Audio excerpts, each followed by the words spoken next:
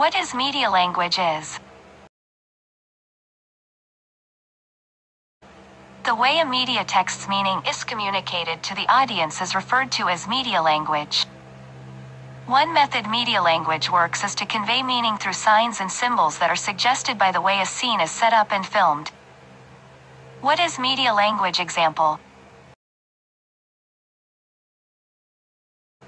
A red rose, for example, can be used to indicate romance, while a clenched fist might be used to convey anger. The recurrent use of specific words, phrases, and images, often known as verbal or visual language, can be included in media languages.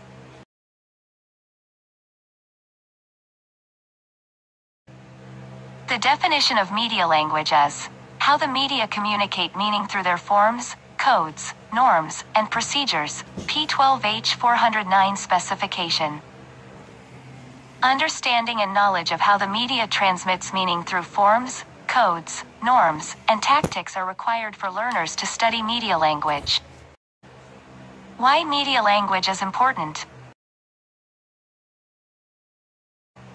For starters, the media make linguistic data widely accessible for study and educational purposes. Second, media outlets are significant language institutions. Their work accounts for a significant amount of the language that individuals hear and read on a daily basis.